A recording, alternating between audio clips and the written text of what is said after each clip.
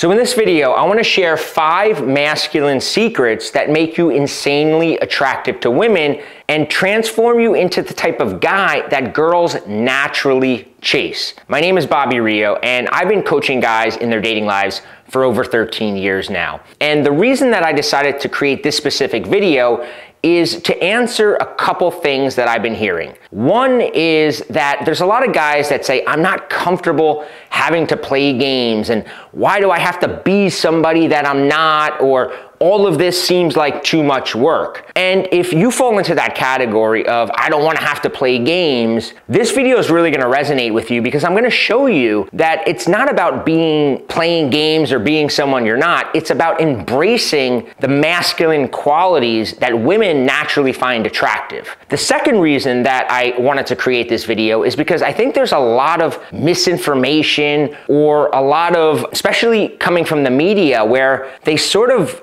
derogotize this term being masculine. And I've noticed that a lot of guys that come to me for coaching, guys that I work with, are almost scared nowadays to embrace this masculinity. They think that they're gonna get in trouble or it's not what women want, when in fact, as I'm gonna prove to you in this video, being masculine is exactly what women want. It's all about how you project this masculinity and also what your definition of masculinity is. For a long time, I used to think of masculinity as the, the tough guy, right? The tough alpha male guy who was getting into fights and, you know, throwing his weight around, you know, the kind of like a Tony Soprano type of guy.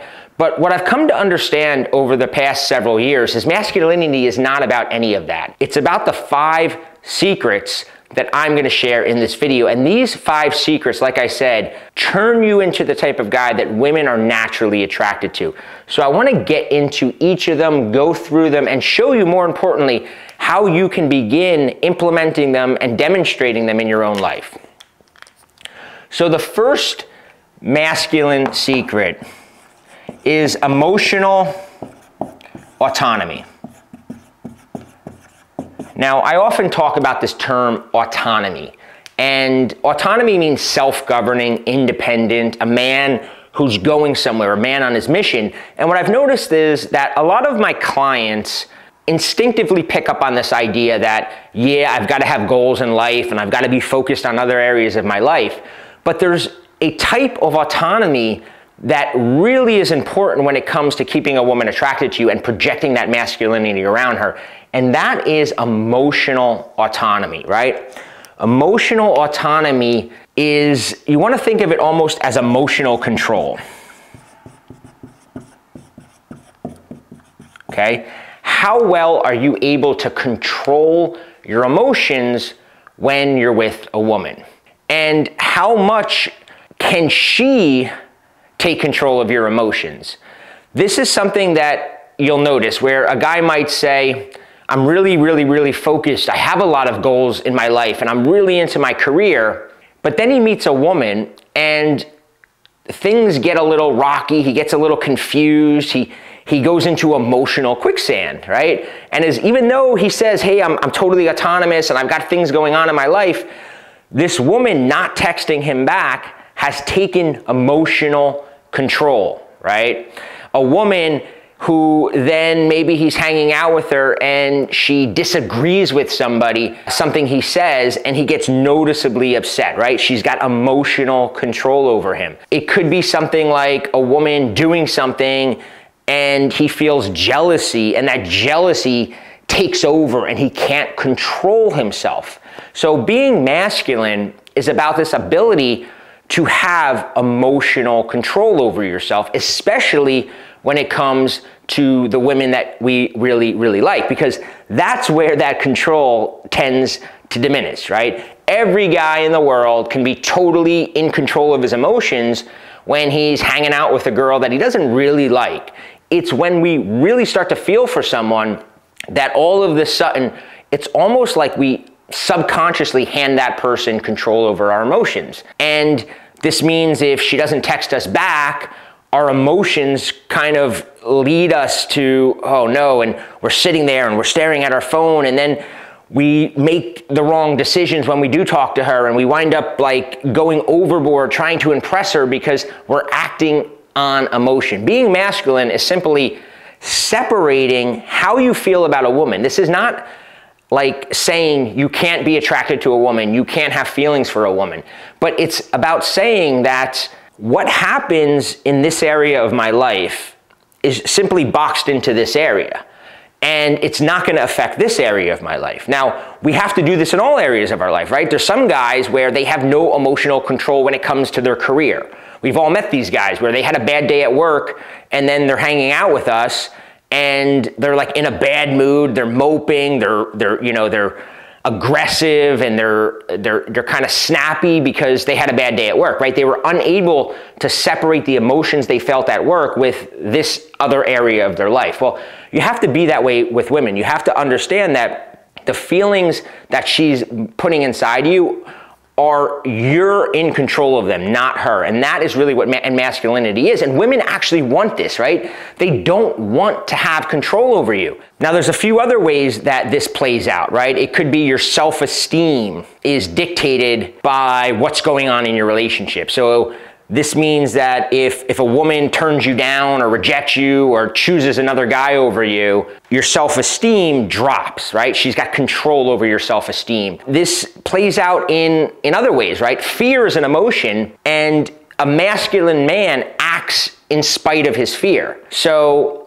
a masculine guy may kind of feel a fear, right? We all we all see the guy who walks over and starts a conversation with a random beautiful woman and we assume he doesn't have fear. The truth is, he has that same butterflies, that same self-doubt, but he acts in spite of that fear and that's really what masculinity is. It's being able to control that emotion and act anyway. So let me give you another example of how this emotional autonomy plays out. So it's about emotions affecting your boundaries and not letting that happen. So if you have something in your life that's really important to you, a value that you hold, okay? A value could be something like when I'm with somebody, I don't want them texting on the phone and being on their phone the whole time, okay? And that's a value you have. And then you're hanging out with a woman on a date and she's on her phone all the time, right? You can't let this feeling, right, this emotion, well, I really like this woman, affect your value. A masculine man is still going to be assertive and say, "Hey, hey, let's hang out. Put put your phone away and let's let's let's talk, right? Come on. We're on a date, let's talk." Like you don't have to be mean about it. You don't have to like scold her, but you assert your boundary in spite of the emotion of I like this woman. You're still going to assert that boundary. That's what emotional autonomy means. And when a woman meets a man who's emotionally autonomous, he's naturally a challenge to her, right? I said earlier that women chase these kinds of guys because they're naturally a challenge. So let's talk about the next aspect of secrets of masculinity. And this one, in a way, relates to that, right? And this is the idea of being non reactive. Now, you may have heard this term before, but this means can a woman get a reaction out of you? And there's a reason that women do this. And if you study sort of the dynamics of masculinity and femininity, and you really, I, I kind of nerd out on topics and I really get into it and learning about it, the more you read about it, the more you kind of realize that women are, in essence, this constant flow of emotions, right? In any given moment, their emotions are running wild. They're feeling all different things. They don't even realize that they're feeling them.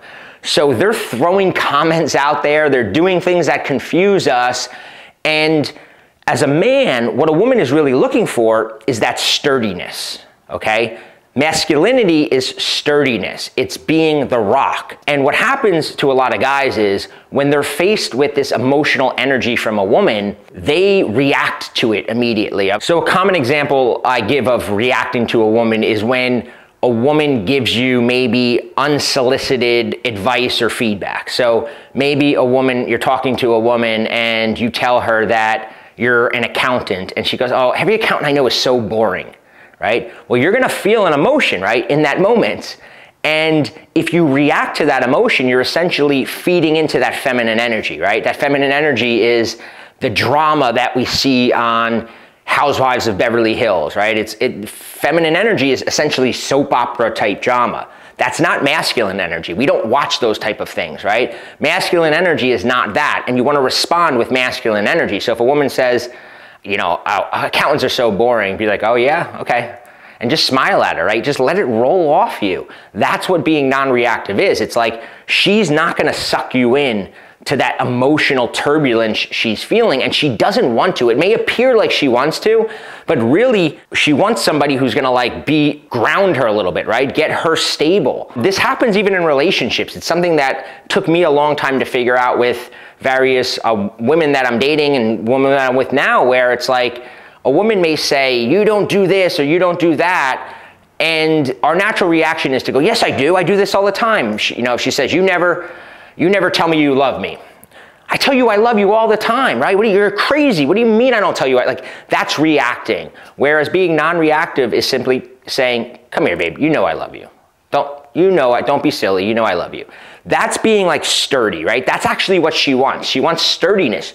She doesn't want the guy who, when she goes, you never help out, you never take the garbage out. What do you mean I don't take the garbage out, right? That's reacting. You need to, in that moment, go, babe, I will, give me the garbage. I'm gonna take it out right now. Like, and just be like sturdy. That's what's attractive to women, that sturdiness, whether it's a woman you're in a relationship with or it's a woman that you're on a first date with. It's like, be a rock, be sturdy. Don't let her see that you're able to swing emotionally one way or another, right? Even something like jealousy. We often, I think we talked about jealousy in, in the previous section, where if a woman is like trying to make you jealous, it's like you don't want to react. We've seen guys who are like, Ugh, what are you doing? You're like, that's reacting. This doesn't mean you can't assert a boundary, like I said. You can quite simply say, hey, listen, I think the way that you're acting is kind of um, inappropriate. You know, I'm just letting you know that I, I, feel like it's a little inappropriate. But getting all upset and storming out, like that's feeding into feminine energy.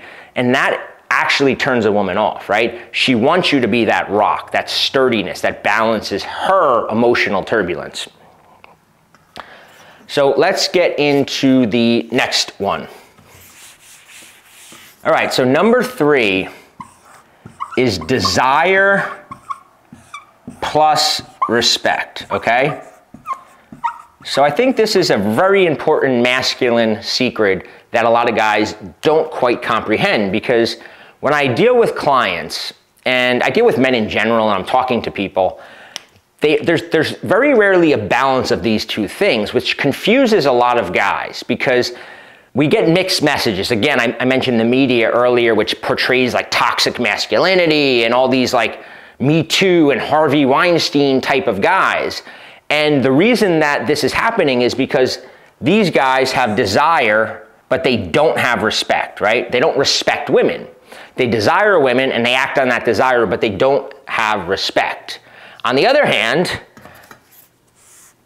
I deal with a lot of clients who project a lot of respect for a woman. I was uh, working with a client recently and we were going over a situation with a woman that he's been dating and he's like been dating her for a month now. And I go, hey, so like, you know, are you guys sleeping together? And he's like, no, no, no, like she's not that type of girl. And I, I feel like it's kind of too soon, right? And he respects her, but he's not projecting desire for her. And masculinity is desire and respect, right?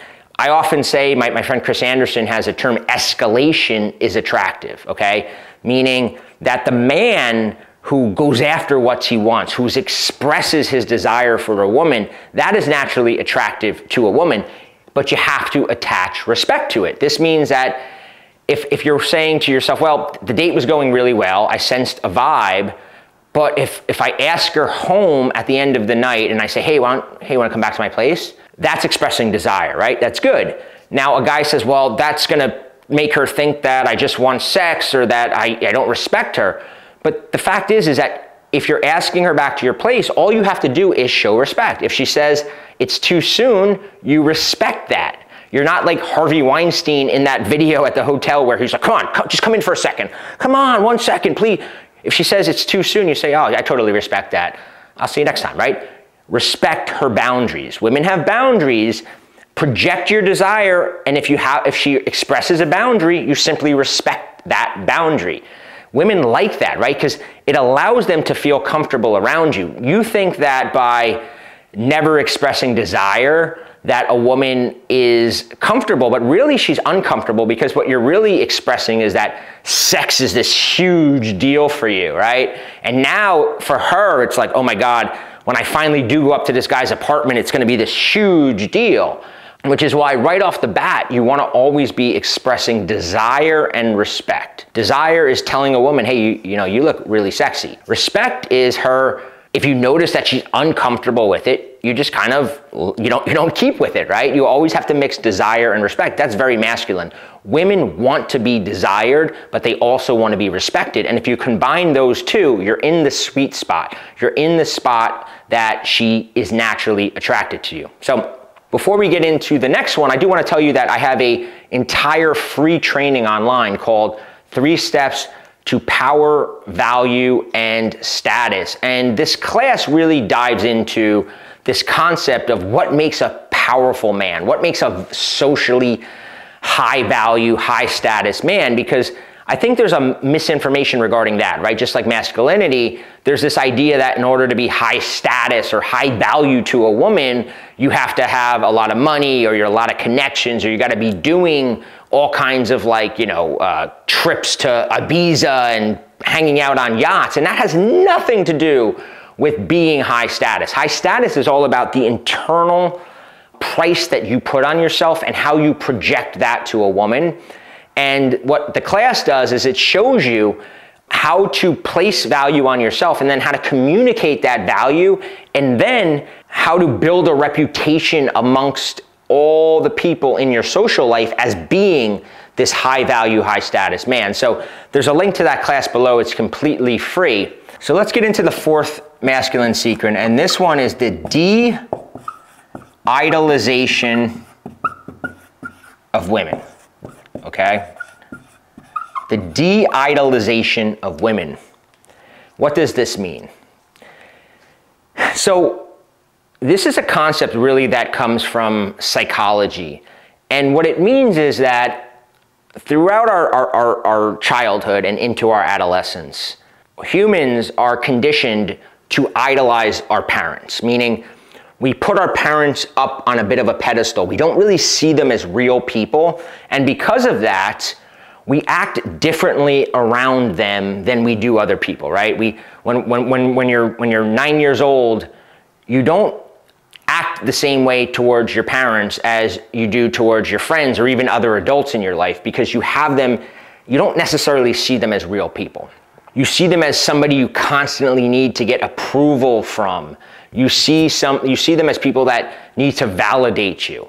Well, what happens to a lot of guys and even a lot of women, but this video is is is, is in, in terms of the men, is we replace our parents, that idolization that we have towards our parents, and when we hit our, you know, maybe high school or college age, we begin to then idolize women, where that same approval seeking behavior that we see and experience with our parents begins to seep out with women. That same element of not necessarily being ourselves around our parents now is how we act around women where we're like a different we've all seen we, we've I, have been that person and i can recognize that in my own group of friends where there's still guys in their 30s or 40s or even 50s who when you hang out with them in a group of guys they're one you know person and then you put them around a woman and they totally become this like totally different person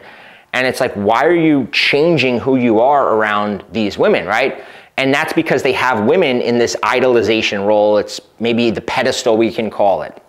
And being masculine is about essentially taking women off this pedestal, not idolizing them, and seeing them as normal people. This is really important because one of the things that I really saw an improvement in my dating life was when I started working in the restaurant business uh, years ago as a uh, first as a waiter and then as a bartender, and I was surrounded by waitresses that I worked with all day, and I began talking to them and spending a lot of time just hanging out and talking to them, and the biggest insight that this all gave me was that they're just people, right? They have insecurities, they have like problems in their life, and they they like have fears, and there's guys that they like that aren't calling them back, and there's like they have problems with their boss, and they feel ugly, and they feel fat, and they like they're just people. And when you begin to experience that and really understand that they're just people just like us, and you talk to them like that, that is very masculine because it's like, oh, he just gets it. He's just a man. I'm just a woman. We're not different, right? I'm not, I'm not this like sublime creature that he has to impress. And that's uh, something that women want to see from you. This also plays out, and this kind of goes back to that uh, last concept of desire and respect a woman, but it also means that like women like sex, right? And a lot of times, uh, again, especially when it's like a good girl, like we have her as a good girl in our mind, we idolize her as this like sacred, angelic woman who would never ever want to have sex, right? But really, she's just a girl who enjoys having orgasms and you know all that sort of stuff, just like every other woman in the world, just like we do, right? And a man, a mature masculine man, understands that. Sex is not a big deal to him, right? So a masculine man, when he meets a woman, he doesn't attach excess meaning to sex. Sex is just what two people do. So when he hangs out with her, when he hangs out with her and he's on a date with her and things are going well, he just assumes like, oh, of course she's gonna wanna have sex, right? Again, he respects her boundaries if she says no, or if she's not interested or whatever. But he doesn't idolize her and say, she probably is gonna, she needs to wait two weeks or she needs to wait three weeks, right? That's idolization. That's what nice guys tend to do, right? And that's why nice guys are often seen as feminine because they, they have women up on this pedestal and they don't see them as real people, right? They idolize them. And women don't want to be idolized, right? Because if you think about evolution, the masculine, right? If there's the masculine feminine polarity, the masculine has traditionally, evolutionary, been the strength, right? And the femininity is sort of the, like, I don't want to say weakness, but it's the weaker energy, meaning the masculine is the stronger energy, feminine is the weaker energy, and you want to project that. You want to be the masculine because that is actually what makes men attractive to women, right? If we were just women and we just acted like women, they would not be attracted to us. It doesn't matter what you hear, what the media says, what small group of people on Twitter complain about. Like, in the real world, women still want masculine men, right? If you want, like, you, you can't get sucked in to what you're hearing because that's not what it's like in the real world. In the real world, women respond to a masculine man. So the fifth masculine secret that I want to share is a simple one, and I'm not going to dwell on this one too much, but it's be in control okay? Masculinity is about control. It's not about controlling a woman. Let's be clear. I'm not saying you control a woman, but you control the situation. If you're with a woman, think of it as like, I'm gonna control this. I'm gonna make everything as comfortable for her as possible. Now, how do you do this? An example could simply be if you're out at a restaurant and you know, you need to get the waiter's attention, right? You have to take the control. You have to be the one to say, even if it's her that needs her drink refilled, and she's like, you know, hey, I need a new drink or whatever. You go, hey, hey, uh, can you get her a new drink? Like, that's control.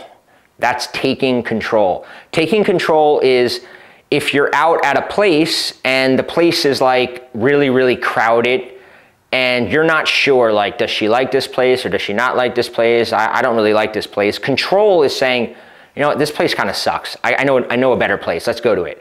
Like what the nice guy does or what the guy who lacks this like leadership might go hey do you like this? Should we stay here do you want to go? Just take control be like hey i know a better place. This place is not good.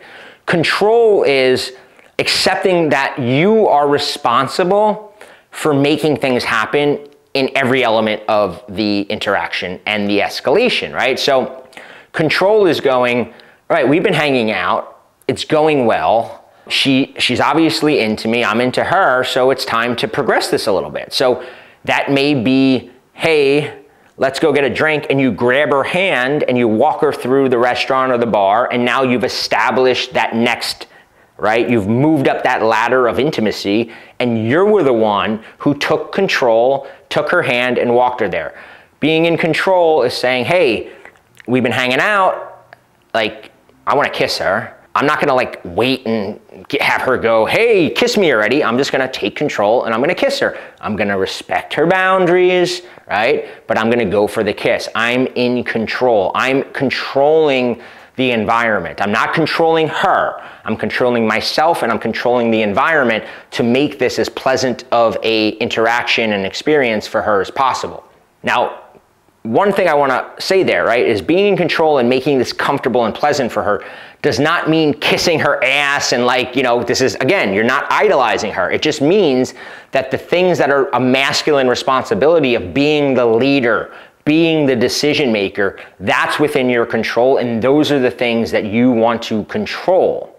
So let's review real fast the five masculine secrets that we just went over. The first is emotional autonomy, and this essentially means that whatever your values are, your personal boundaries are, your goals are, you don't let the emotions a woman is making you feel change that. So if a woman is doing something that you don't like or you feel is disrespectful, but your emotions are, well, I really like this woman, and now you have fear, right? You're, you have fear of, well, if I if I stand up to myself or if I disagree with her, she's not going to like me anymore. You now have no longer experiencing emotional autonomy, and being masculine is about holding on to that emotional autonomy. The second one is being non reactive. And this is essentially, we talked about the feminine masculine polarity. And femininity is a very reactive, it's a very emotionally turbulent energy. And you don't want to get sucked into that. So if you're with a woman and she makes a comment like, "We're not going to I'm not going home with you tonight," or "I'm not going to sleep with you." Right? You just sort of say, "Of course not." And you keep talking to her. You don't get sucked in. You don't emotionally react to what she's saying. You just let it roll off you because you're the, the, the, strong masculine energy. You don't get sucked into her feminine energy. The third is the idea of desire and respect. And we talked about how desire without respect is creepy. That's the guy who's the creepy guy. That's the Harvey Weinstein guy. On the other hand, the guy who projects that he respects a woman without desiring her is the guy, the nice guy, the guy who winds up in the friend zone. You want to combine desire and respect, and that is a masculine trait that women find very attractive. The next is the, the de-idolization of women, and we talked about how we went, a lot of guys go from idolizing their parents and seeking approval from their parents and uh, not seeing their parents as human beings to then putting that same idolization onto the women in their, their life that they like, where they now feel that they need women's approval and they don't treat women as people. They treat them as these like up on a pedestal. And masculinity is about treating them like an equal, treating them like another human being. And then we talked about the idea of control. And that concept is simply meaning that it's your responsibility to take control of an interaction if you sense that the date is not going well or this location that you chose is kind of boring, to simply say, hey, I know a better place, let's go there. At the end of the night, it's your responsibility to go for the kiss. You have to be in control of moving things forward.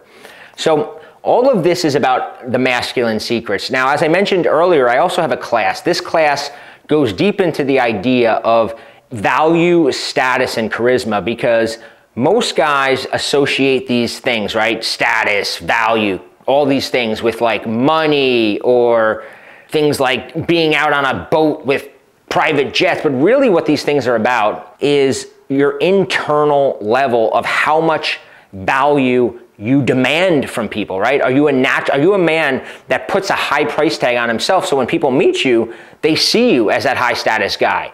So what the core what the what the free class below does is it walks you through the three steps.